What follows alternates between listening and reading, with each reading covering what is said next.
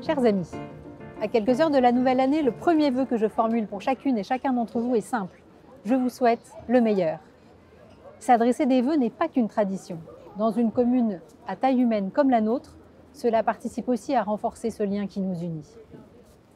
Le message que je partage aujourd'hui avec vous est donc plein d'espoir et d'optimisme. C'est un message chaleureux et amical, car nous savons tous qu'une fois encore, l'année qui vient de s'achever a été complexe et trop souvent inhumaine. Alors oui, à quelques heures de la nouvelle année, je veux être positive, car les rendez-vous qui se profilent à l'horizon doivent nous inviter à cet optimisme, à cette envie de faire, cette envie d'agir.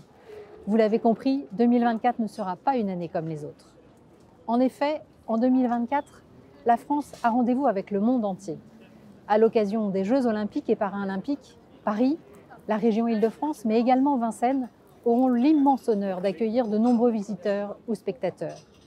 Ce rendez-vous est une chance, car il nous permettra de montrer au plus grand nombre la beauté de notre pays et de notre ville, le cadre de vie exceptionnel de Vincennes, mais surtout la richesse de l'âme et la qualité d'accueil des Vincennoises et des Vincennois.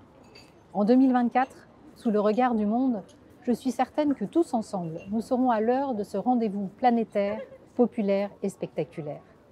Je suis certaine que nous serons tous mobilisés pour faire briller notre ville et rayonner Vincennes. À très vite, belle et heureuse année 2024.